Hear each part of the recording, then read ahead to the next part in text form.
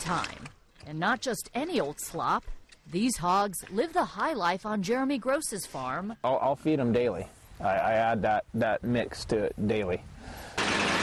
That mix includes plenty of leafy greens, It's almost like an alfalfa fed cow or alfalfa fed pig. but no alfalfa here. Instead, this is marijuana.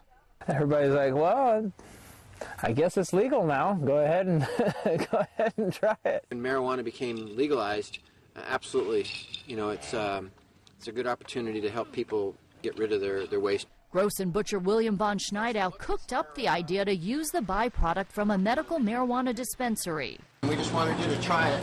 At Seattle's Pike Place Market, von Schneidau's shop sells these pot pigs at a premium price. It's got a kick to it. Yeah. Tastes like good pork chop. Whether it's gimmick or green farming, the U.S. Food and Drug Administration, which regulates feed additives, hasn't signed off on the cannabis concoction being fed to the pigs. So if you feel a little heady, it could be the pot bellied pigs. Jeannie Ohm, Associated Press.